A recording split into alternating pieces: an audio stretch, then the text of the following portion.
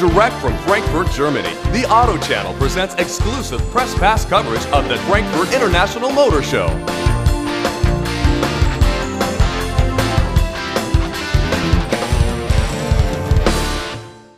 Hello, it's great to be coming to you here from the very exciting Frankfurt Motor Show.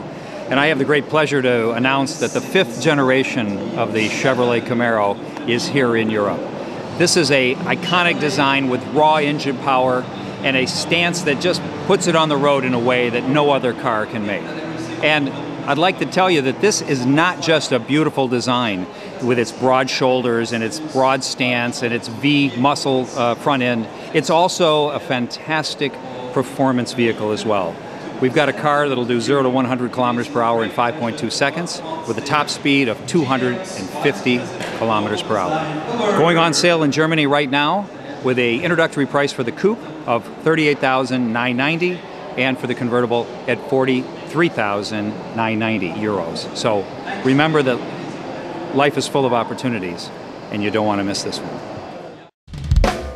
Thanks for watching the Auto Channel.